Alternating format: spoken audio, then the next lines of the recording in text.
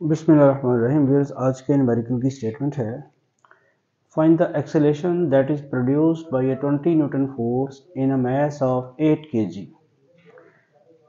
solution में हम सबसे पहले गिवन डाटा लिखेंगे। Find the acceleration that is produced by a force by a 20 newton force यानी हमें फोर्स 20 न्यूटन फोर्स दी हुई है और मैस दी हुई है एट के जी और हमने जो फाइंड करना है, वो क्या करना है? ये तो हो गया ना गिवन जी फाइंड हमने करना है एक्सलोरेशन और जो फार्मूला लगेगा, वो कौन सा लगेगा? आपके सामने तीन चीज़ें हैं। फोर्स है मैस है एक्सलेशन है। ये तीनों चीज़ें कहाँ होती हैं? किस फार्मूले में होती हैं? Newton second law of motion शाबाश। F is equal to M A तो अब हम ये फार्मूला है। एफ़ हमारे पास है 20 न्यूटन और मैस हमारे पास है 8 के जी और एक्सलेशन हमने फाइंड करना है, वो ऐसे लिख देते हैं।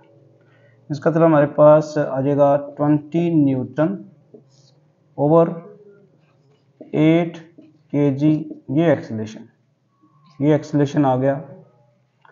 और हम इसको लिख सकेंगे A is equal to twenty को अगर एट पे हम डिवाइड करें कैलकुलेटर से आप डिवाइड कर सकते हैं। और अगर कैलकुलेटर यूज़ नहीं करना तो एट पे डिवाइड करते हैं।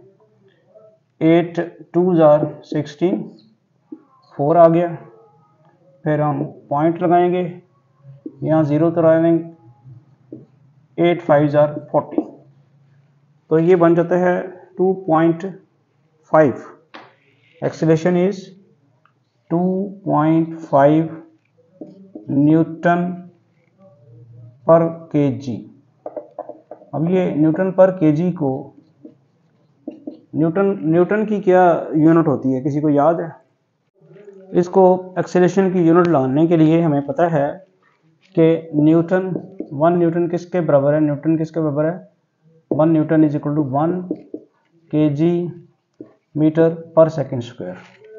तो हम यहाँ पे न्यूटन की जगह लगा देते हैं K G metre per second square, और ये पर के जी पहले से मौजूद है, इसके साथ कैंसिल हो जाएगा।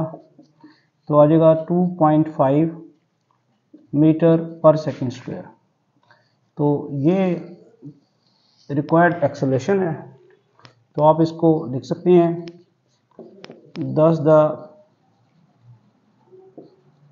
required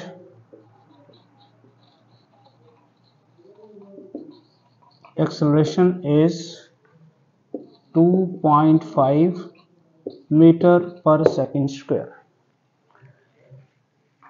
उम्मीद है ये न्यूमेरिकल भी आपको समझ आ गया होगा। अगर आपको कोई प्रॉब्लम हो तो कमेंट बॉक्स में जाके आप कमेंट कर सकते हैं। Thank you